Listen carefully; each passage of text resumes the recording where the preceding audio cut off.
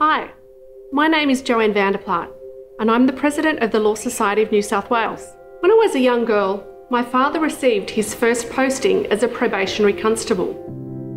On his very first shift, the sergeant on duty asked him, So, son, do you drink? Not much, he replied. Well, we'll have to fix that, won't we? As Aussies, we love a drink.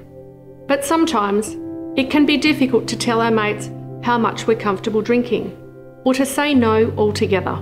It's particularly tough negotiating these issues in regional and remote areas, where people are isolated and services can be limited. And it's also an important issue for the legal profession. Studies have shown that lawyers are more than three times more likely than the general population to be problem drinkers.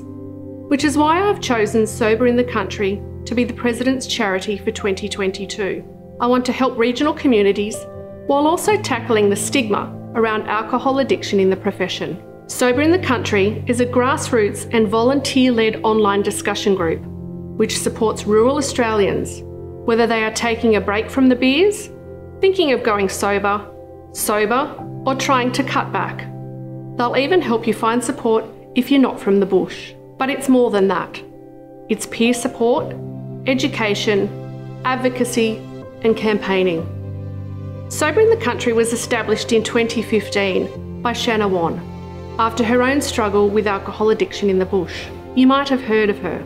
In January, she was awarded Australia's 2022 Local Hero of the Year in recognition of her work changing the conversation around alcohol consumption in the country. But let's be clear, this isn't about being anti alcohol or prohibitionist. Sober in the Country is all about affecting positive cultural change. In Shanna's words, this is about supporting our friends or family or colleagues who choose to say, no thanks, or not today and to ensure that people who need help get it. My father didn't get the help he needed when he needed it, and our family suffered for it. I don't want to see that happen to others. And so this year, I invite you to make a donation to Sober in the Country, the President's charity for 2022.